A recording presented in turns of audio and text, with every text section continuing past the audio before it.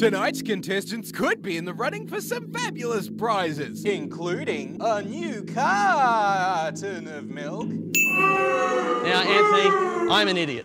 I keep forgetting what you do here on the show. Could you please explain it for the folks at home? I make sure everyone's playing fair and, and everyone's playing by the book. Do do you throw the book at anyone? Hungry for the opportunity. There is no actual book. I'm also hungry for a book. Because you love the rules, don't you? Love the rules, David. How, mu- how much do you love the rules, Anthony? Well, I'm glad you asked me, David, because just this week I saw someone breaking the rules and I set them on fire.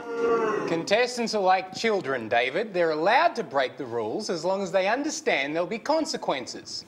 And just like children, keep them in a room with no windows and give them intermittent ice showers morning, noon, and night. Who are tonight's contestants? Yes, our first contestant is the first, last, only Mohican. Our first contestant, unless I've mixed up my cards, is absolutely a woman. He also lives in a big gothic castle on a hill and has scissors for hands. Hold on to your horses because she's a noted horse thief. Our second contestant this evening is a woman who needs no introduction. Contestants on 31 questions stay at Melbourne's first class California hotel. Color television, color bed sheets. It's like a little piece of Los Angeles down under. Can I ask Anthony, is it cr- is cream in that dish? Eggs we were looking for. Oh. Would you put cream in that? I anyway? would. I tell you what, because B would put cream in her pasta alla carbonara, let's give her half a point. What if she wanted to put like poison? Well, that would be another half a point, David. Jesus, not rocket science. It's the one where we quote the movies, where Sophie Anthony and I quote a few motion picture scenes. I don't remember you. What? I don't remember you. We're the band! Candy?